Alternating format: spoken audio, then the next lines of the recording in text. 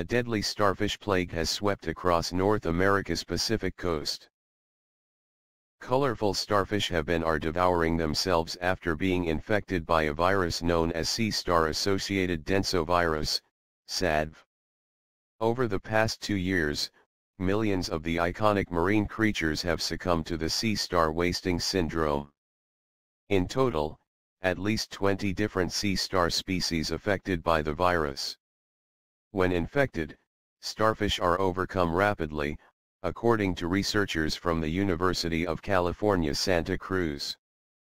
Ultimately, SADV can lead to behavioral changes, lesions, elasticity loss, limb autotomy, and death characterized by rapid degradation or melting.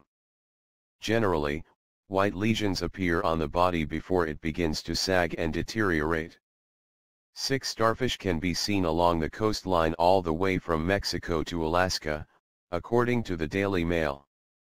While the sea star disease has been around for nearly 70 years, the magnitude of the recent epidemic prompted further investigation. There's some trigger, probably an environmental trigger, Rebecca Johnson, a citizen science research coordinator at the California Academy of Sciences in San Francisco told Yahoo News. A new app called iNaturalist enables people to report sightings of sick starfish by posting photos and information. Researchers will use this information to track the problem better. As efforts continue, researchers have found themselves moving into a new phase of the wasting disease, assessing the ecological consequences of losing starfish species.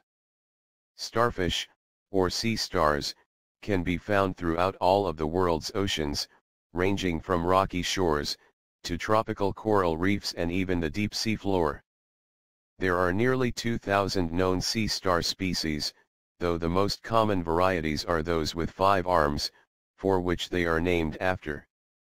Starfish are also recognized for their ability to regenerate limbs. However, infected starfish also lose this ability.